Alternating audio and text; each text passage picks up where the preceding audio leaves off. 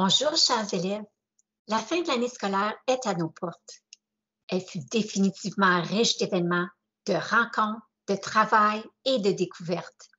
Il s'agit de l'aboutissement de plusieurs mois de travail qui ont demandé beaucoup d'efforts. Vous avez définitivement fait preuve de résilience. Les vacances sont donc bien méritées pour vous toutes et tous et permettront de vous prévaloir de semaines reposantes et vivifiantes. Cela étant dit, si l'école fait relâche au cours des prochains jours, je vous invite à rester à l'affût de découvertes et d'expériences nouvelles. Pourquoi ne pas profiter des différentes ressources environnantes pour éveiller votre soif d'apprendre, de vous développer et de vous réaliser? Ces petits gestes contribueront de façon significative à la prochaine année scolaire.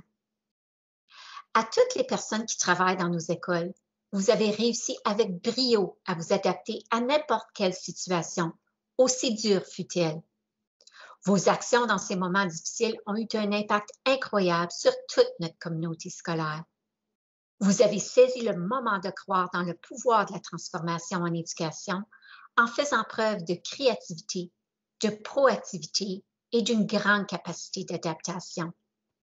Voilà un rappel concret qu'avec la détermination et la persévérance, nous pouvons accomplir de grandes choses, malgré les inconnus et les obstacles.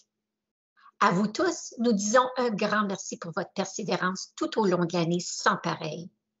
Bonnes vacances bien méritées. À vous, chers parents, je tiens à vous remercier de jongler le travail, les enfants et les multiples responsabilités qui s'ajoutent en ce temps de pandémie.